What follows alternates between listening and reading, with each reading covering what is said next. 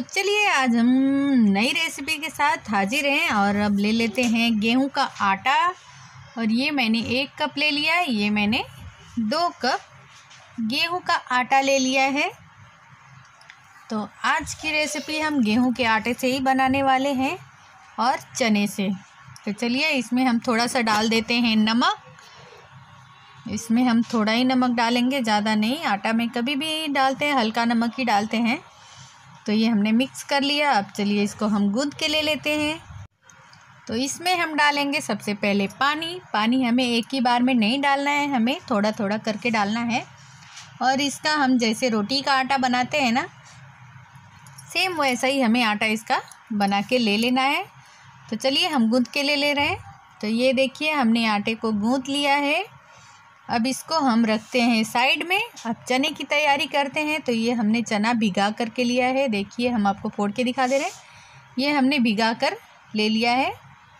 और तब इसको अब हम बनाना स्टार्ट करेंगे। तो उसमें हम थोड़ा सा डालेंगे जीरा और काली मिर्च। ये हमने ले लिया है।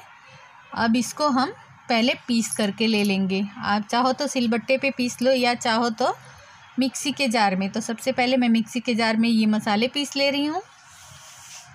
तो हमारा ये मसाला पीस के हो चुका है। ऐसे ही हमें पीसना है, ज़्यादा हमें फाइन पाउडर नहीं करना है। तो अब चलिए उसी मिक्सी जार में हम डालते हैं चना और चने को भी हम डाल के पीसेंगे। तो चलिए ये हमने चना डाल दिया है। अब इसमें हम डालेंगे थोड़ा सा लहसुन और मिर्ची। तो ये हम लहसुन डाल दे रहे हैं, इतना। और इसमें हम डालेंगे तीन से चार मिर्ची, अपने तीखे के हिसाब से। और इसमें हम डालेंगे थोड़ी सी धनिया की पत्ती और अदरक। तो ये हम अदरक डाल दिए हैं। अब हम इसमें धनिया की पत्ती डाल दे रहे हैं। तो ये सारी चीज़ें हमें पीस लेना है तो हमारी मिक्सी जार में ये तो नहीं आ रहा है। हम दूसरे में पलटी करेंगे और पीस लेंगे। और इसमें अगर आपको एक दो चम्मच पानी लगता है तो वो डाल के आप पीस सकते हो, लेकिन ज़्यादा पानी नहीं डालना है। अब इसमें हम मसाला जो पीस करके लिया था, उसको डालेंगे, जीरा और काली मिर्च। और अब इसमें डालेंगे हम हल्दी पाउडर। और थोड़ा सा हम गरम मसाला डाल दिए। और थोड़ी सी इसमें हम मिर्ची पाउडर, क्योंकि हमने मिर्ची पहले पीस के डाला हुआ है तो थोड़ा ही हम डालेंगे, ज़्यादा नहीं डालेंगे। तो ये हमारा मिर्ची पाउडर हो गया डाल के। अब इसमें हम डालेंगे थोड़ा सा हींग। तो दाल का बनाओ या चने का बनाओ, ये सब चीज़ों का बनाओ तो इसमें हींग डालो ना तो अच्छा स्वाद आता है। तो ये हमने हींग डाल दिया और नुकसान भी नहीं करता है कोई। और इसमें डालेंगे हम नमक। अपने स्वाद के अनुसार इसमें नमक डालना है। तो ये हमने डाल दिया। अब इसको हम अच्छी तरह से मिक्स करके ले लेंगे। तो चलिए, इसको हम मिक्स करके ले लिए हैं। अब इसको हम साइड करते हैं। तो हमने जो आटा गूंथा था, उसकी हम लोइयाँ बना करके ले लिए हैं। तो अब चलिए, इसका हम बनाते हैं। तो इसको आप हाथ से भी पतला कर सकते हो, या अब ऐसे चकले पे भी बना सकते हो। तो हमने देखिए, ऐसे इसको बेल करके इतना पतला किया है।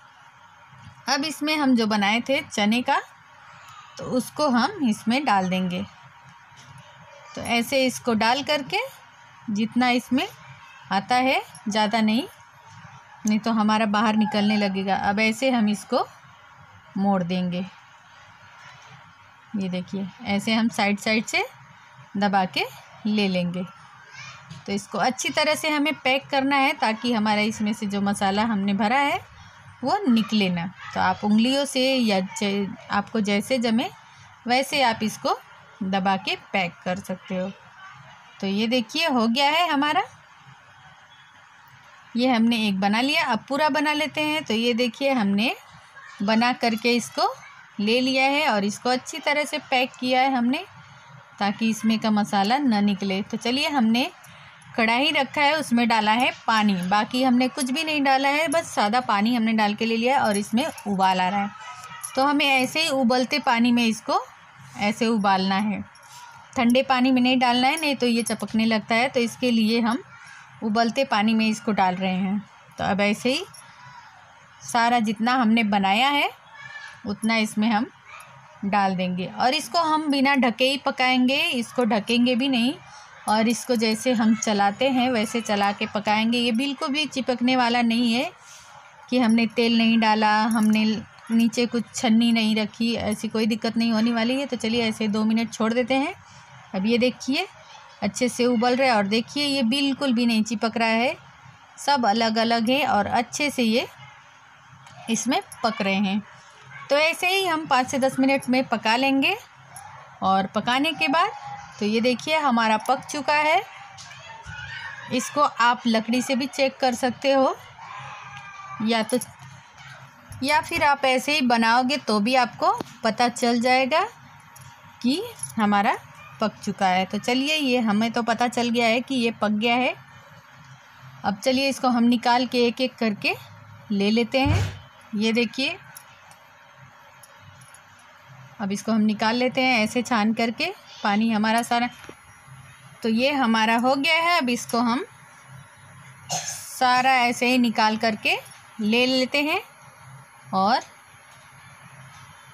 आगे भी और ऐसे ही जितना हमने बनाया है, उसको ऐसे ही हम उबाल करके ले लेंगे। तो चलिए इस, अब हम इसकी कुछ तैयारी करेंगे तड़के के लिए। तो पहले इसको हम ठंडा करेंगे।